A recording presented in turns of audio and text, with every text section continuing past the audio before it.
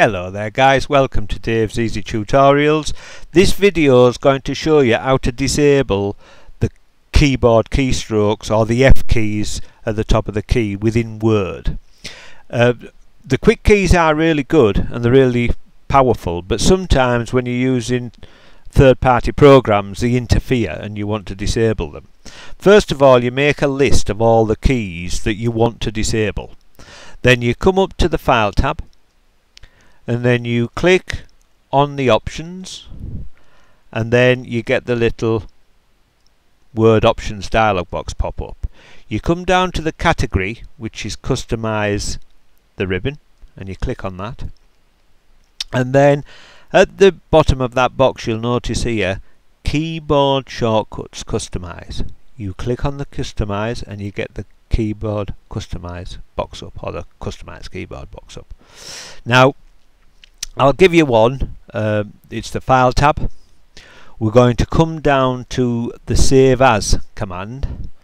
So we'll come down and find the save as which is there. Now the save as command is F12 so you go to File tab, File Save As command, click on that key and click on this remove. Now whichever template you are in at the moment, I'm in the normal template and that's where I would want to disable it from. So you select the tablet template that you want to disable it from because it, you must move the keyboard the keystroke from the template not the copy of the template not the document of the template it must be the template itself so if you're working from a, a customized template you find that template and then you remove that keyboard and you just simply hit remove. Now I'm not going to hit remove because I don't want to remove the key. I use that key an awful lot but that's how you would do it. Now just to run you through it again imagine that we've got another keyboard. Now imagine that the F5 key which is the go-to you would go to the home tab.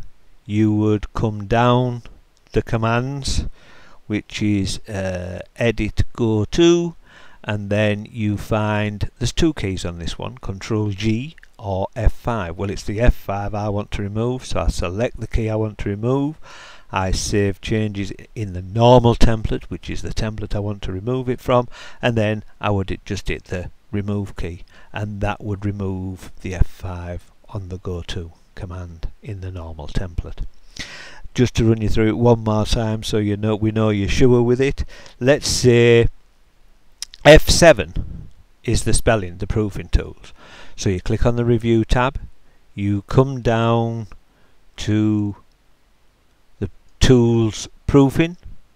You come over here to F7 you say save changes in the normal template and you hit the remove. And then you just hit the close box. And it is as easy as that to do.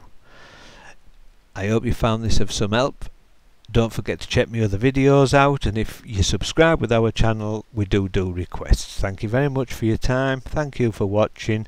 Bye